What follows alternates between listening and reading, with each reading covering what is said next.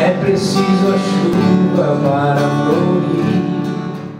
Amor para poder pulsar.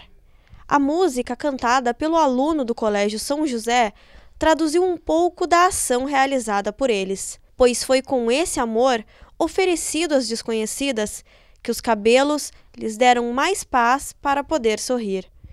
Motivada pelo empenho dos envolvidos, a emocionada senhora foi até a frente e doou a peruca confeccionada com seu próprio cabelo. Tudo começou com a professora Lorita, que contou com o apoio e mobilização de Caterina e mais uma amiga. Tudo que a gente faz para os outros tem um retorno para a gente. Como hoje são elas que estão precisando, as pessoas, os pacientes doentes, pode ser que algum dia seja eu também que preciso. E, e não tem nada mais gratificante do que sentir o amor das pessoas por ti e o amor que tu pode oferecer para elas. É uma coisa muito simples, muito fácil, rápida e prática. E tudo o que a gente precisa é de vontade e motivação, nada além disso foram entregues 550 mechas de cabelo e 600 lenços ao grupo Amigas de Peito e Alma. Elas serão as responsáveis pelo banco de perucas a partir de sexta-feira. Uh, essa doação que nós estamos recebendo hoje, ela é muito mais do que uma doação de cabelos. Nós viemos aqui hoje buscar uma doação de carinho, de amor. E é isso que as amigas de peito e alma querem oferecer às pacientes que chegarem até nós, que nos procurarem. Nós estaremos, além de doar, de doar uma peruca, nós queremos doar carinho, amor, um abraço. É para isso que nós vamos estar lá. Na plateia, as jovens que cortaram o cabelo receberam aplausos cercados de carinho e gratidão. Afinal, elas doaram um pouco de si mesmas para ajudar na autoestima de outras mulheres. Eu me encorajei no cabeleireiro, cortei ainda mais do que pediram, né? Porque o certo era 15 centímetros, eu cortei 26. Então, eu achei que eu fiz uma boa causa, né? Porque é legal fazer isso com as pessoas, um gesto de carinho. Os cabelos que foram doados pelo Colégio São José poderão ser utilizados em perucas pelas mulheres que estão passando pelo tratamento contra o câncer de mama.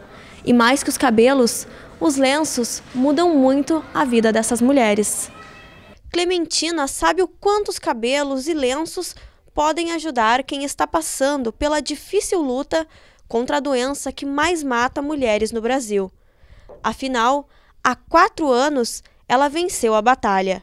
E nesses últimos tempos, a vitória tornou-se símbolo de uma nova vida. Eu faço essa, essa comparação porque eu me sinto assim. Não que os outros 46 anos tivessem sido é, desperdiçados, não. Mas a forma de viver é que é diferente, é de forma mais intensa e mais plena. Eu vivo hoje mais na minha plenitude. Conforme os médicos que conversaram com os alunos do colégio, quando o diagnóstico da doença chega, os pacientes passam a ter urgência de viver e de amar. E foi o que aconteceu com Clementina. É, você ser diagnosticado com câncer, seja ele de mama ou de qualquer outro, é um divisor de águas na sua vida. Então você acaba parando para enfrentar a doença e para repensar toda a tua vida. Então, é, você tem outras necessidades. Você tem a primeira coisa, a necessidade de sobreviver àquele momento. E a segunda urgência é de viver. Então, você, é, você é, tudo se torna melhor. Quando o teu filho te chama de mãe, o som é diferente. O momento da entrega, após todo o trabalho para arrecadar a grande quantidade de mechas de cabelo, emocionou Caterina. É uma coisa que a gente não, não consegue explicar. Tanto que uh, na hora que eu fui falar com elas, eu não pensava que ia me emocionar e é uma coisa que saiu do controle, porque sentir isso vivo nelas é diferente do que fazer a campanha até chegar no momento. Então é uma coisa muito importante, com certeza ficou marcada para a gente, para elas também. As perucas e lenços estarão disponíveis para as pacientes do SUS.